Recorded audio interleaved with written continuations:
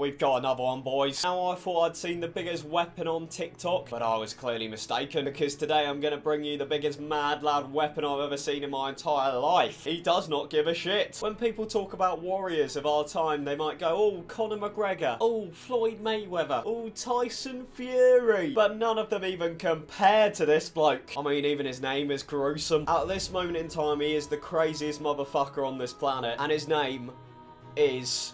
Kyle. Oh, fucking hell. So basically, Kyle's just one of those, you know, TikTok cringy kids. You know, classic, his content's a little bit wet, but I'm not really here to roast him on that aspect today. I mean, when I was about his age, I was doing this, wasn't I? Yo, what is up, guys? It is Sharu Sandstone here. So you might be thinking, why the fuck is your little beanhead even on my screen then? Well, Kyle's done something a bit dodgy. Now, just before we do get into what Carl's done, if you are new around here and you do enjoy this video, don't forget to subscribe with notifications on. I do daily uploads on this channel and you don't want to miss one. Leave a like on the video, it helps me out a lot. And at the end of every video, I'll read out my favourite comment from last video, so stick around to the end to see if it was you and leave your comment down below so you can feature in the next one. Alright, let's go. Right, so the problems kind of arise with this TikTok.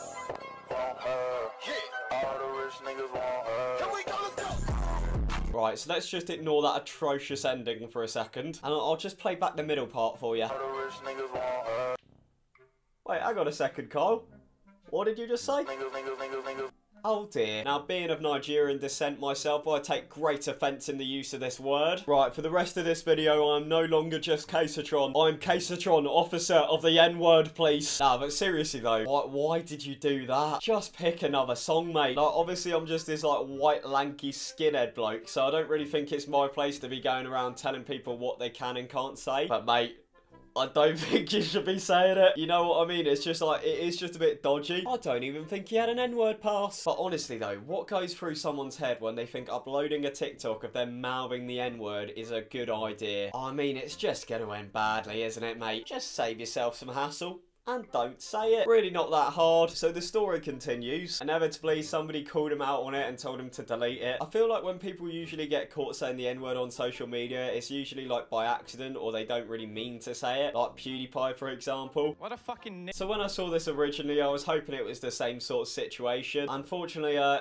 it's not. So this isn't actually my messages, but somebody else called him out and told him to like delete the post. And um, this this was his response. Now you've started on me. It's strange how you've picked and picked at something, so it turns into an argument. Yet you haven't said a word about anyone else. So basically, his reasoning for using it was other people use it. And then when he got called out on it, he tried to say, "Oh, why would you pick on anyone else? I saw that Nigerian bloke say the N word the other day. Pick on him instead." I still don't think he's deleted the post either. Oh fuck it out. Just a reminder, these messages are coming from this kid.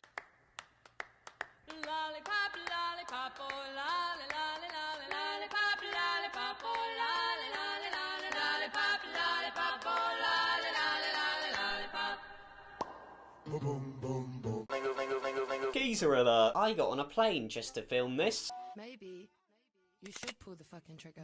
Well, you didn't, did you? You went on your family holiday and decided to film a three second TikTok while you're on the plane. I think you fucked me up. Just the definition of an absolute weapon, isn't it? Anyway, I just kind of thought this was like an interesting situation. Like, I'm not really making this video to try and call him out for being a racist or anything. I don't really feel like it's my place to do that. I don't know, I just think the whole situation's a bit dodgy and it could just be like so easily avoided. I think what gets me is after someone's called him out on it and was just like, listen mate, just just delete it. He starts going, no, you've started on me. I don't know, it's just a bit dumb, isn't it? Alright, so just before we go, it's time for my favourite comment from last video. So my favourite comment comes from Yo Alex, who says, I'm going to watch Casatron at 3am. So he comes to my house, one like, and I'll eat his buttocks. Bit too normal that comment, isn't it? Fuck it hell. Thanks anyway. Anyway, I'm kind of interested to see what everyone else thinks about this, so leave a comment down below saying what you think about this whole situation. If you did enjoy this video, subscribe with notifications on, leave a like on the video, and leave your comment down below so you can feature in the next one, and I will see you tomorrow.